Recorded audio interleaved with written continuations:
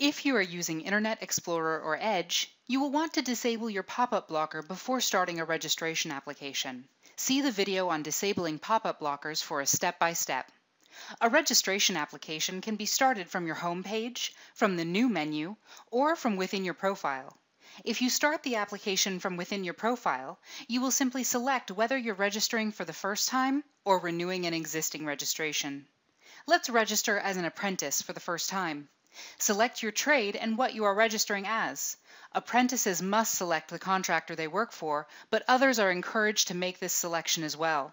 Click Next to move on. You'll now see tabs in the form. Let's start from the left. The Profile tab already has information.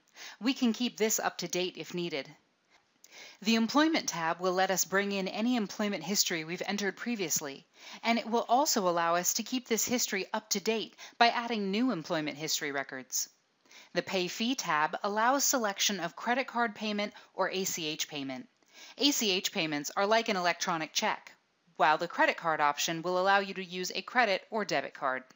All payments are processed through PayPal. Let's make a credit card payment. Clicking Pay Now will open a window where you can enter your payment information. Your payment information is never stored within Visual Vault. Enter your card information and click Submit. PayPal takes care of the rest, and you will be returned to your registration form. On the Sign and Submit tab, click the pencil icon to sign the application. You can save your signature to your profile for future use.